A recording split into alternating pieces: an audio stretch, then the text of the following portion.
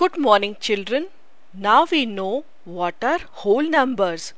So let us see property of whole numbers with relation to multiplication. First we will start with closure property and commutative property of multiplication. Let us multiply two whole numbers. 2 multiplied by 3 and it is equal to 6.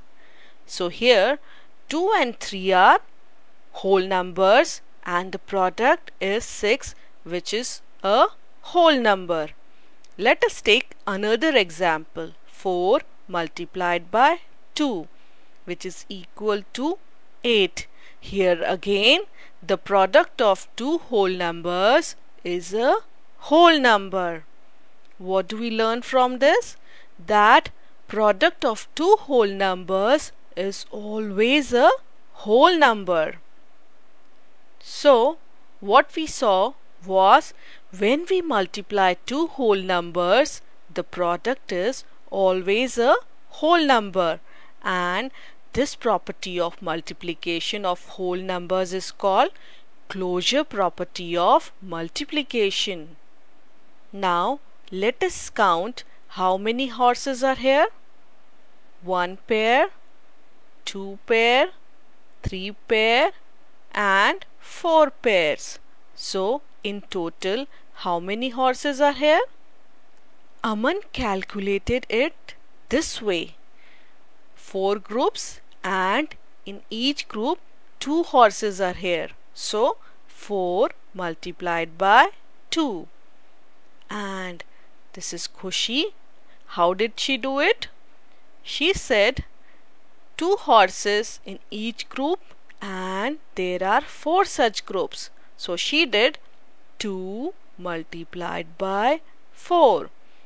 So they followed different order of multiplication but the answer was same.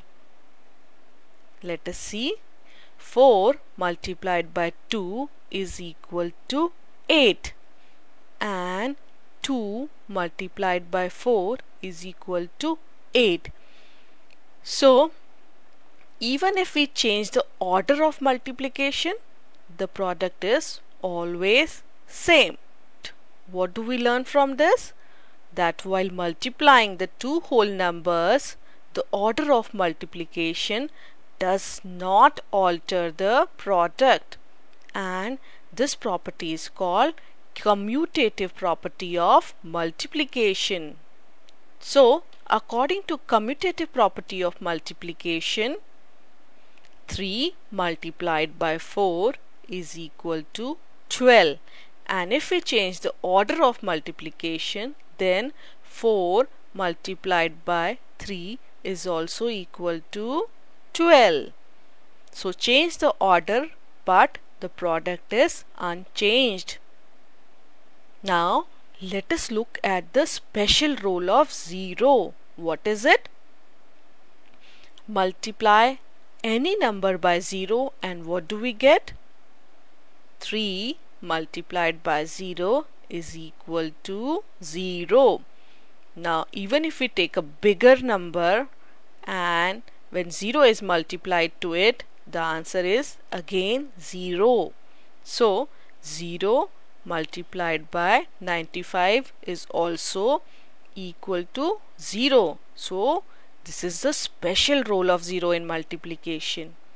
Any number multiplied by 0 becomes 0 which means the product is always 0 when we multiply the number by 0. So now you know what are the three properties related to multiplication of whole number.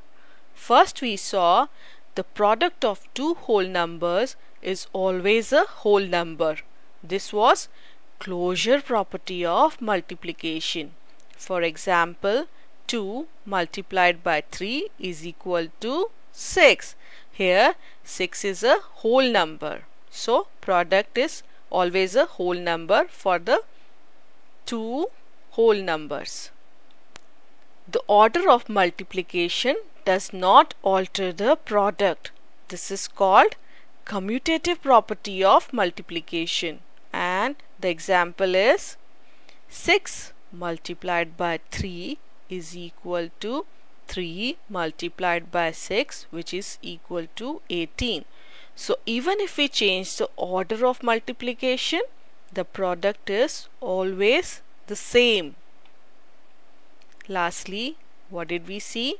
We saw when any number is multiplied by 0 the answer or the product is 0. For example 3 multiplied by 0 is equal to 0. So now we know three properties related to multiplication of whole number. The other properties we will see in next class. That's all for now. Bye bye children.